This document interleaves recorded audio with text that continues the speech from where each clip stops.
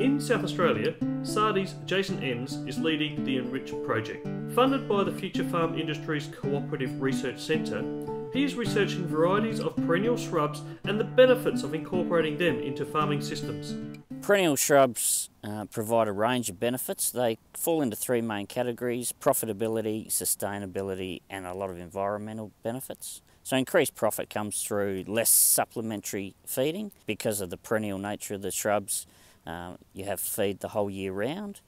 Gives you a much more predictable feed supply, which helps in planning and feed budgeting. And there's a range of environmental benefits related to um, increased soil cover, better water use, leading to reduced salinity risk, uh, and also creates increased habitat and increased biodiversity for things like birds. Because they're perennial plants, they provide soil cover for the whole year round, so reduced uh, wind erosion uh, and also water erosion. They're very deep rooted, so you get increased water use. Shrubs also provide shade and shelter, which is critical to animal performance. It's particularly important for times like lambing and off shears and can significantly reduce the amount of lamb losses. One of the other benefits of shrub-based systems is you can defer grazing of your annual regenerating pastures. So when they're starting to germinate, you can have livestock on the shrubs, uh, so you get better better growth of the annual pastures, and that has a direct translation into increased stocking rates.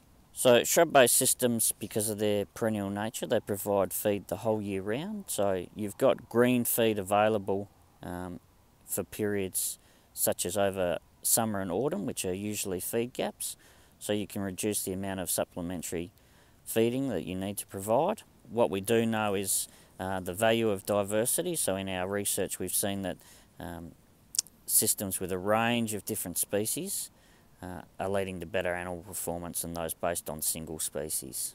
Shrub-based systems uh, can fit very well into, into a mixed farm.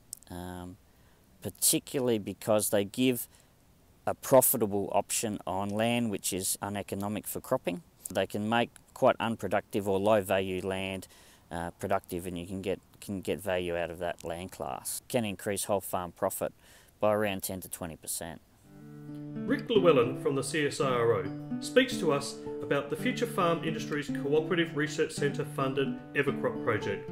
This project is investigating the options that perennial shrubs and grasses provide to farmers. The shrubs and the grasses, they're likely to have just a niche place on, on different farms. So you're not talking about anything that's going to take over large hectares on in this mallee environment.